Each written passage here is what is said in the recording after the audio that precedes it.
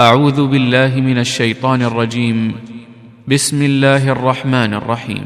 يا أيها الذين آمنوا كتب عليكم الصيام كتب عليكم الصيام كما كتب على الذين من قبلكم لعلكم تتقون أياما معدودات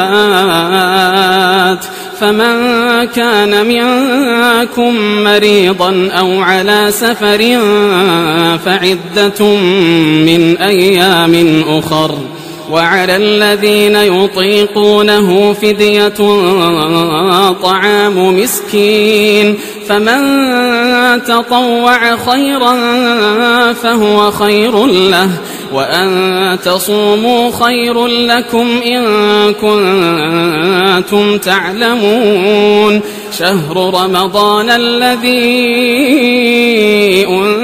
أنزل فيه القرآن هدى للناس وبينات من الهدى والفرقان فمن شهد منكم الشهر فليصمه ومن كان مريضا أو على سفر فعدة من أيام أخر يريد الله بكم اليسر ولا يريد بكم العسر ولتكملوا العدة ولتكبروا الله على ما هداكم ولعلكم تشكرون. وإذا سألك عبادي عني فإني قريب أجيب دعوة الداع إذا دعان.